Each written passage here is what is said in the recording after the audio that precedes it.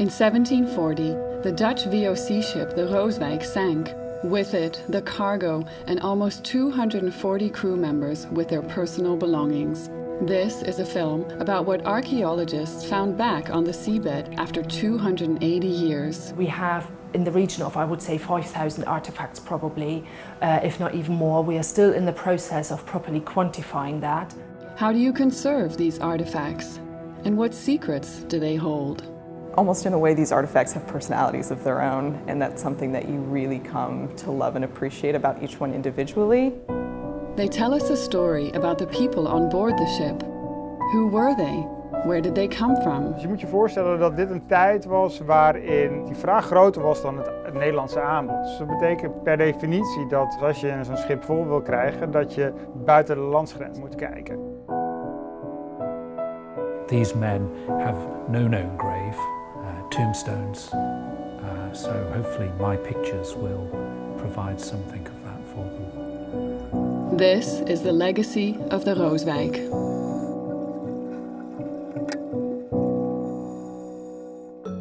From 2016 on, the International Programme for Maritime Heritage of the Cultural Heritage Agency of the Netherlands has been working on the Rooswijk Research Project, collaborating with Historic England and executing two diving expeditions with MS DS Marine in 2017 and 2018. The Rooswijk, a Dutch VOC ship en route to the colonies of East Asia, perished in January 1740 off the coast of Kent, England. It was fully loaded with goods and supplies. After two years of research, 2018 marks the final season of diving on the wreck. For maritime archaeologist and head of the program Martijn Menders, it concludes more than three years of work on the site. Je voelt je een beetje nostalgisch hè, als je ophoudt met zo'n groot project. We hebben twee jaar lang keihard gewerkt aan, uh, aan deze vindplaats qua opgraving. We zijn natuurlijk ook al langer bezig met de voorbereidingen. En uh, we hebben ontzettend hard gewerkt. En dat doe je met een uh, relatief klein team. Met dat kleine team werk je heel nauw samen, dag en nacht. En, ja, dan, dan is, het, is het natuurlijk wel jammer dat het, dat het ophoudt. Maar we hebben hele mooie resultaten gehad. Uh, en we kunnen een fantastisch verhaal schrijven over de Rooswijk. Dus daar ben ik wel heel erg blij om. Martijn seems proud, and he has every right to be. In the 2018 season, the team recovered a staggering amount of artifacts from the seabed. We hebben een enorme verscheidenheid van vondsten uh, gevonden, uh, omhoog gehaald. Kookgereedschap, grote ankers, koperplaten met uh, ijzeren staven, met tonnen kisten met sabels, kist met vingerhoedjes, persoonlijke bezittingen, navigatieinstrumenten, bewapening natuurlijk, uh, munitie, uh, pistolen, musketten, dus mooie tinnenborden, kannen, dat soort materiaal. Among the finds was this beautifully preserved large knee that used to carry the first deck just above the hold. An important discovery that allows the team to grasp the true size of the ship.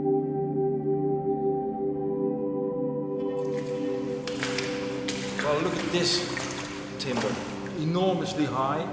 And as you can see, this is pure oak. And it was made of a big tree with a branch on the side of it. And this is a, what they call a knee. And the knee supported a big deck beam, which is going across the ship and which was holding, of course, a deck. By this kind of timbers, you can see how big the ship was. I'm standing here, probably in the hold of the Rooswijk, with all the cargo around me, and I cannot even reach the deck itself. So enormously big. This is why we took it out, just to record it and to see something more about the structure of the Rooswijk itself.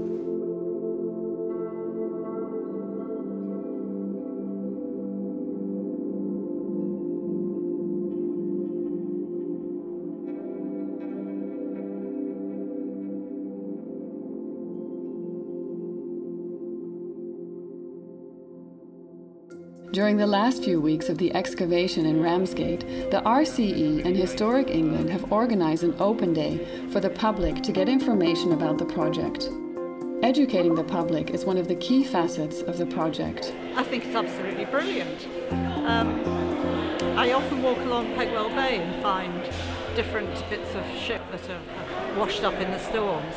Um, and to see this in this, this detail and the amount of knowledge that the people here are, able to apply to what's found is, is absolutely brilliant. I love it. Nou, wat ik heel mooi vond om te zien is uh, uh, dat er sommige onderwerpen als een soort van scharen, ik weet niet wat het precies zijn, dat dat gewoon nog beweegt. Uh, dat vind ik wel, wel heel mooi om te zien. Dat na zoveel jaar uit het zand, zoveel honderd jaar uit het zand, dat dat nog gewoon, gewoon werkt. It's really interesting actually, yeah. Uh, I really like the sort of like shipwreck stuff and we've been here before, about a year ago, so it's good to see an update on what you've got, yeah.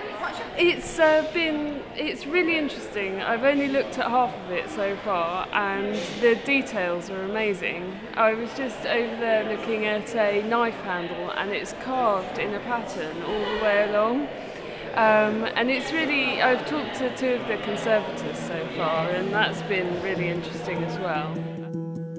This is Fort Cumberland, a coastal defence fortification in Portsmouth that was built in the second half of the 18th century.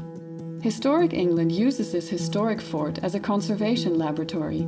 Many artifacts found on the Rooswijk site have been brought here for further study. We have in the region of, I would say, 5,000 artifacts probably, uh, if not even more. We are still in the process of properly quantifying that. So some of the artifacts are really complex and uh, have quite um, complex conservation needs. Um, but as we've started working on them and made little discoveries, that has been really exciting to actually uh, find out more details and sort of go on a journey to, to unravel this mystery now. Do we think these are copper alloy? I'm not sure. I think so because they have kind of the same density right, as, as the ring. As that one. Kim Roche and Nicole Schouten are part of the team stationed at Cumberland. Every day they conserve, catalogue, and clean the various artifacts of the wreck. They employ a different number of techniques to chip away the dirt, grime, and erosion in order to find the hidden gems of the Rooswijk. So here we have an inkwell, uh, and that was obviously used for, yeah, for writing. Uh, so here you would open it and you would dip your quill in the ink. Um, there's a little drawer here as well. So here there used to be quite a lot of dense concretion which formed during the burial in the marine environment. We've removed it through mechanical action.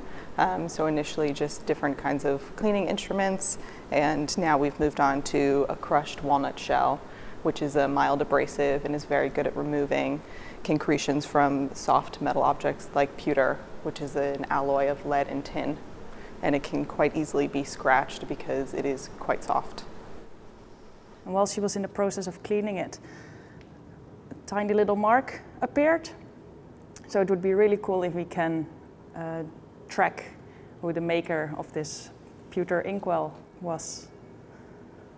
So this is a lead weight, we believe. It has the one inscription, which Nicole can tell you more about. It was found in a concretion with two other weights that are marked two and three respectively. The one we believe it indicates like a one pounder. Um, in here, you can see, so this will be the number three. Here you can see the three, which is, we believe, a three pounder. So this would be made of lead, and this is the iron part. And if you look very closely over here, you can see three crosses that are vertically uh, and that is the symbol of Amsterdam. So here we have a trumpet, which is one of our favorite artifacts. Um, if you look here, you can see a beautiful decoration. Uh, we also took an x-ray of, of this trumpet part, and under the concretion, uh, there are shells, so it's like a chain with shells. It's absolutely beautiful. They would have been using it for, for music, but also if there was uh, danger of any kind, they would have used the trumpet to alarm everyone. Yeah. So it may have been the trumpet that was blown during that fateful night. You know, you spend so many times looking at an x-ray. What do you think this is? What does that look like to you? Do you see any inscriptions here? Am I going crazy? Am I, you know, seeing something that's not there? And then you know, you start working on something and it finally starts to take shape and then out of nowhere there's an object with a huge surprise on it and it is the ultimate reward in this job, I would say.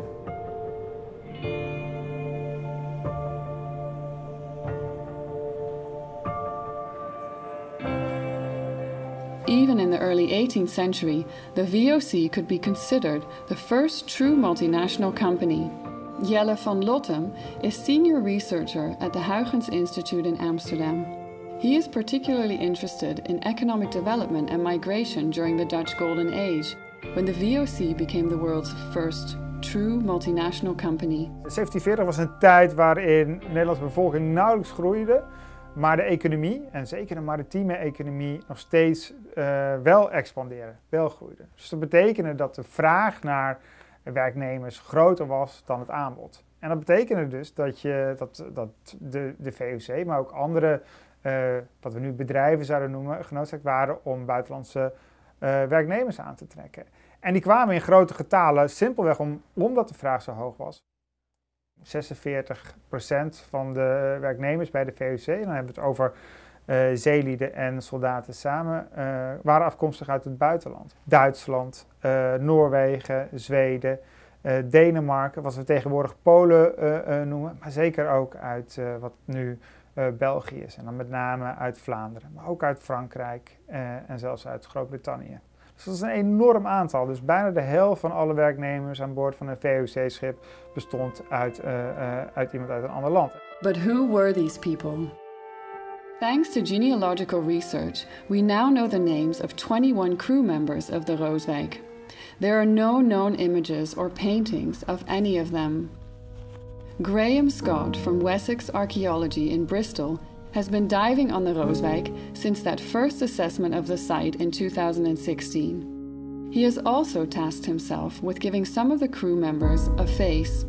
Crew members like senior merchant Barend Lont from the port city of Rotterdam, who was only 34 years old when the Rooswijk departed. He was a leader, first mate, some ways quite uh, an authority, perhaps even he was you know, fairly hard bitten, uh, I imagine he was on course to become one of the VOC captains uh, had he lived. Barend left home for the sea at 10 years old. His personal life is marked by tragedy. His first wife, Adriana van Dijk, dies while giving birth in 1725 while he was out at sea. In 1729, he marries Elizabeth Wijtings. Their first child dies soon after being born, and a year later, his oldest son passed away as well. To make matters worse, Barend and Elizabeth lose another child in 1737. Three years later, Barend perishes on the Rooswijk, childless. I'd like to. Um,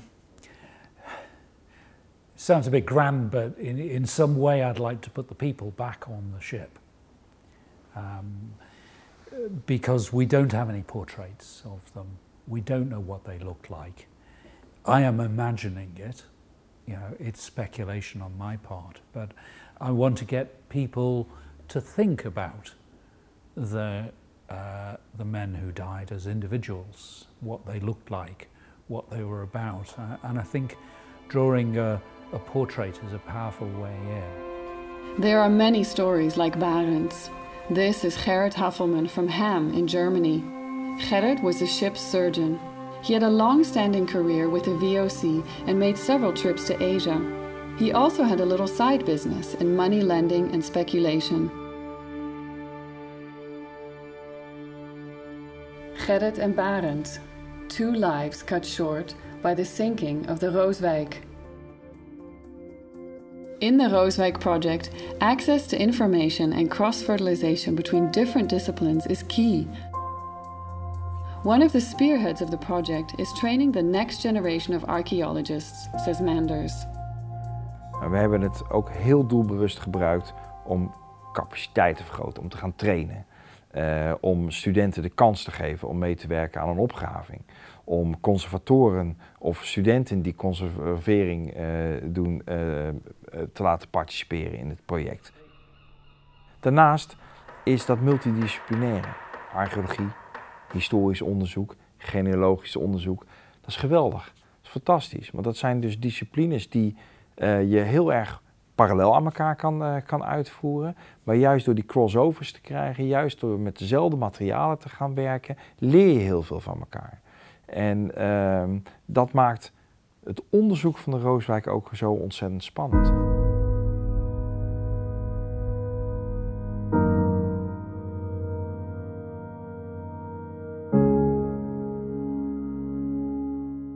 By working closely together with uh, English and Dutch specialists, uh, we can cross-fertilize and we can take advantage of the knowledge that everyone can bring to this project. Because the uh, Rooswijk is, is such a Dutch story, isn't it? Als je de verhalen wil vertellen over ons verleden, kan je dat op verschillende manieren doen. Naast de woorden, naast de geluiden, heb je ook de objecten waar je naar kan kijken. En we halen niet alleen die objecten uit die scheepswrakken. Als archeologen zijn we juist bezig om de verhalen rondom die wrakken omhoog te halen. Al die kleine informatiedeeltjes die we bij elkaar halen, die maken het verhaal.